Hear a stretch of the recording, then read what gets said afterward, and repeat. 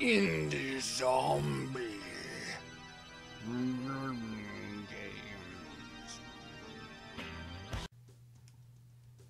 Hey everybody, welcome back to Indie Zombie Let's Play. I'm taking a look, a second look, at Ghouls and Gals, Chapter 1.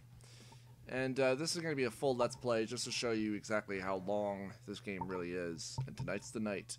Uh, Brandon and I originally played this uh, probably some odd months ago. This is a semi-action adventure style game with the illusion of choice, as they usually are, wherein uh, you explore many of these different rooms and something different is supposed to happen. My mother kill me. And every once in a while, you get these quick time events.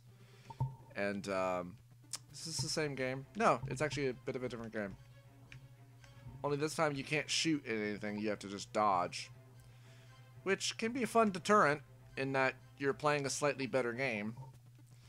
I'm gonna take a second crack at it.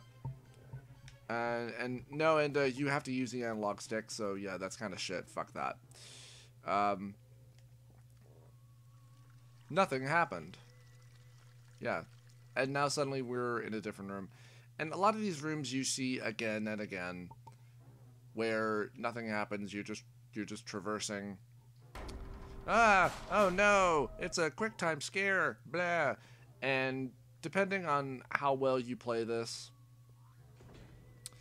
uh, you'll beat the game faster. And that's really all there is to it.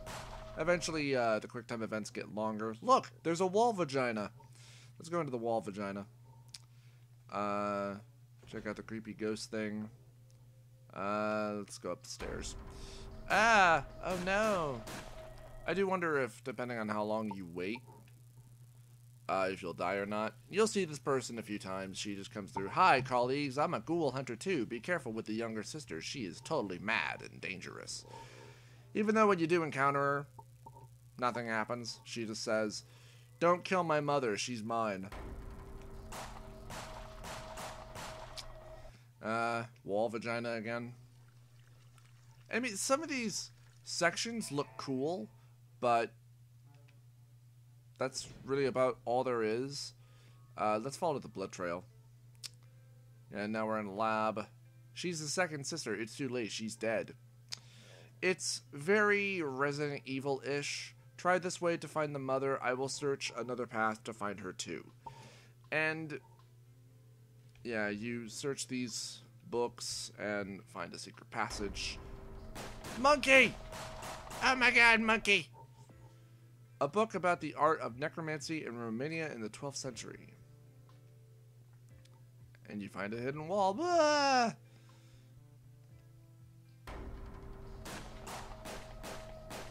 And a lot of these uh, art picks, I believe, are taken from many of the many of the different games that this company made.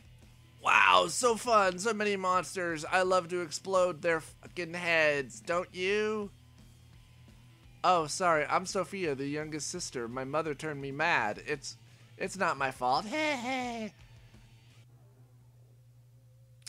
Uh, and eventually, yeah, you you just get stuck down these very boring linear paths where nothing happens. Oh, and uh, I just recognized that uh, that hallway there that you saw previously was taken directly from the PT demo. The, younger, the younger sister tried to kill me. Take care. My tits are practically popping out. But they never will. Haha. We'll take A. And now we're just getting attacked by randomness. And again, seeing the same... Oh, and you end up just repeating paths. It's... It's so... This is the problem with games like these, where it's the illusion of choice, and it's just fucking repetitive, and it's fucking boring. And you see this person again. I'm gonna take B. And it's like it tries to punish you and acts like it tries to reward you. And yeah, and somehow the the more I choose A, the more it somehow just keeps on sending me back through this linear path. It is fucking ridiculous. Let's try Y. We're in the Silent Hill hallway. We're in this room again. We're in this hall again. We see her again. A.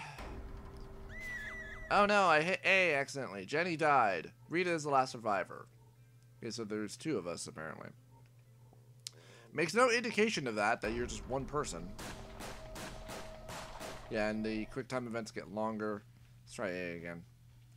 We're just in this fucking room again. How do you even wind back at that person? I don't even know what way I'm really supposed to go now, because... Go up the stairs? No, you're just in the PT hallway again. Because I've actually beaten this.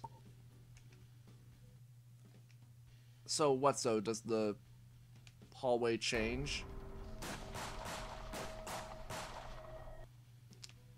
Uh, is that really meant to indicate progress? Because it really fucking doesn't. This game really sucks. It really does. And I mean... What way are you even supposed to fucking go? Because it's so goddamn random. I'm pressing X and I'm just going down this damn hallway again, and then I then I get a quick time, and I accidentally hit the wrong button. Ah, uh, she's so bloodied. Ah, uh, your team is decimated. Game over. Ah, uh, I guess this game sucks. Let's go to checkpoint two. Cause, cause I don't fucking care. I, I would like to show the. Uh, yeah, the quick time events are just meant to be you know, semi-difficult to make it feel like that there's any sort of challenge when really there isn't.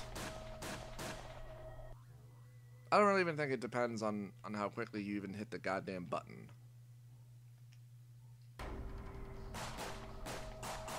We're stuck in this stupid cycle again.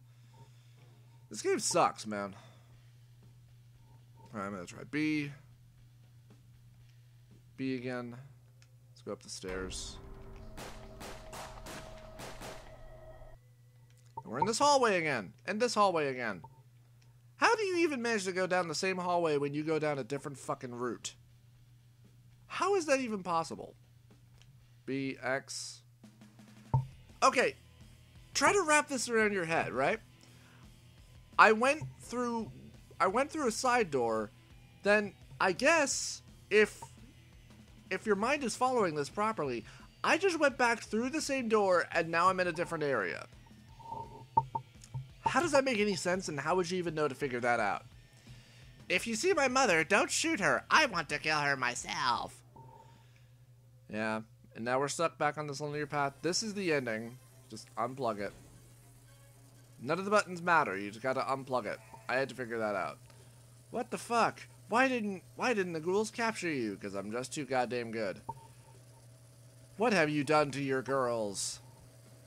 Scientific experiments you cannot understand. This this needs some sacrifices. I'm a Resident Evil monster. Freak, now I have to kill you. But I won't until the next game. Stupid girl, you're trapped now. You'll be my slave for eternity. Look at my non-showing tits.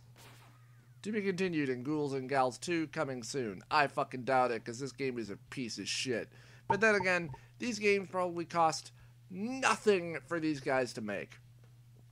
I imagine a lot of the art, quote unquote art, that you're seeing here is probably stuff that was originally done online by amateur artists and they probably stole it and just used it for their game. For their very shittier for, for their very shitty, non-linear game because no matter what path you choose, it's the same fucking repetitive path. That's all it is. You always go into the same room, you find some sort of an arcade that you can play that's really just a little bit of a better game.